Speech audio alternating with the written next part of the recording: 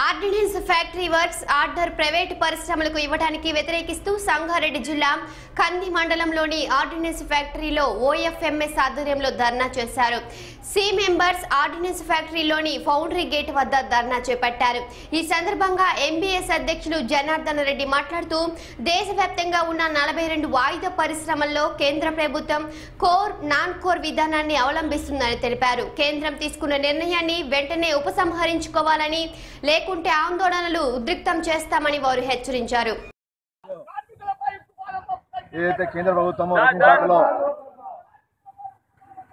ఈ యొక్క ఆయుధ కర్మాలను నిర్వహించడానికి ప్రయత్నం చేస్తుందో దానికి వ్యతిరేకంగా పద్దెనిమిది పంతొమ్మిది రెండు రోజుల్లో ఆ- ఆల్ ఇండియాలో కూడా నలభై ఒక్క ఫ్యాక్టరీలో ధర్నా కార్యక్రమాలు కార్యక్రమాలు చేపట్టడం జరిగింది.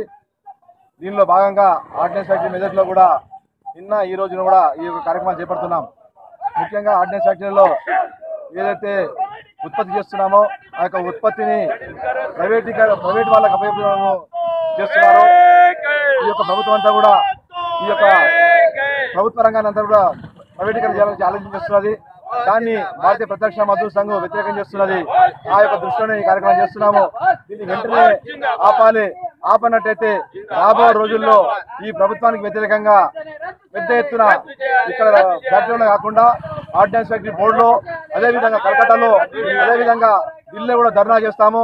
ఈ యొక్క ప్రభుత్వాన్ని నిలదీసి మెడలు వంచి దీన్ని ఆపద ఆపుతామని చెప్పేసి కూడా మేము ప్రత్యేకం చేస్తున్నాం.